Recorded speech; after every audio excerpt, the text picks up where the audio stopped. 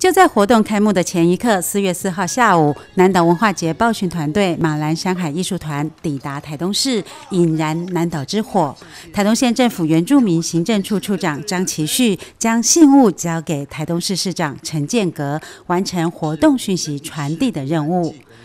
从我们文化的传承、原住民我们主轴的开展，让我们台东能够迈向国际，冲上世界舞台。包训团队马兰山海艺术团以及接训团队台东县原住民妇女关怀协会，以音乐和舞蹈表达对于南岛文化节的期待和支持。众人一起拉下瞭望台上的布幕，欢迎各地的好朋友都到台东参加为期半年的南岛文化节活动。诚挚的邀请，诚挚邀请我们与会的乡亲，能够能够包容来参与我们整个原住民族文化的深层的美跟力量。完成最后一站的报讯任务，报讯团队在原型处长张其旭的率领下，向县政府出发，准备和其他团队会合进行采接，并出席在台东国际地标举办的开幕典礼。刘瑞文、廖崇义采访摄影。